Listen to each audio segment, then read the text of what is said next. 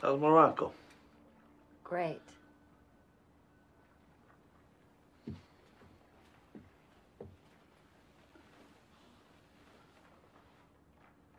Listen, that, uh, that phone call it was an old girlfriend. Oh, you mean she wasn't from the school? My God, she sounded so convincing. Just trying to be honest here. Yeah, if you're trying to be honest, why'd you lie? Didn't want to piss you off. So it's really more about you then? What are you talking about? I didn't want to hurt your feelings. No. What you said was that you didn't want to piss me off, which implies that you'd have to deal with me, which was more about sparing you than my fucking feelings.